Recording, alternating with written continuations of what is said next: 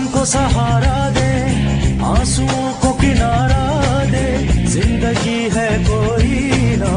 शुमाली छावनी के इलाके में नौजवान की जहाज़ से गिरकर हलाकत, नौजवान की शनाख्त कासिम के नाम से की गई, जो अपने दोस्त अली जमशेद के साथ लाहौर एयरपोर्ट गया था। अली जमशेद की गुमशुदगी का मुकदमा थाना बागवानपुरा में तो दर्ज कर लिया गया, लेकिन तफ्तीश के बारे में पूछा गया तो एसपी इन्वेस्टिगेशन ने बेबसी ज़ाहिर करते हुए कहा कि एएसएफ और तफ्तीशी इदारे ताउन नहीं कर रहे। नहीं नहीं, अंदर दाखिल होने वाली बात नहीं है। अंदर हमें दाखिल होने देते हैं, लेकिन वो जो इंक्वायरी है, वो हमसे अभी तक शेयर नहीं की। रिपोर्टेडली वो कहते हैं कि कहीं एएसएफ वालों को पता है शायद लेकिन इस सिलसिले में हमें कोई इन्फॉर्मेशन नहीं है। लाहौर में दूसरा बड़ा वाक्य 27 जनवरी को दिन दिहाड़े अमरीकी शहरी के हाथों दो नौजवानों का कत्ल।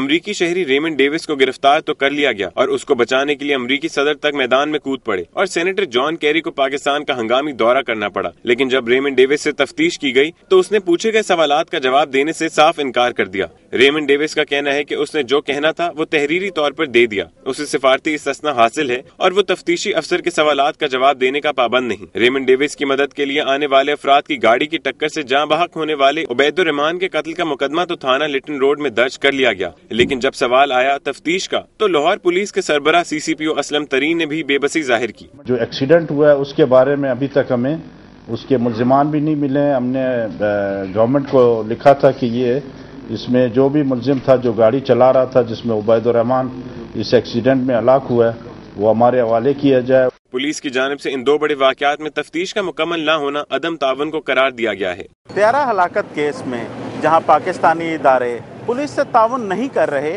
वहीं रेमन डेविस के हाथों दो नौजवानों के कत्ल में अमरीकी हुकाम का अदम ताउन केस को सुलझने नहीं दे रहा। कैमरामैन फैसल रहमान के साथ नुमान शेख, दुनिया न्यूज़, लाहौर।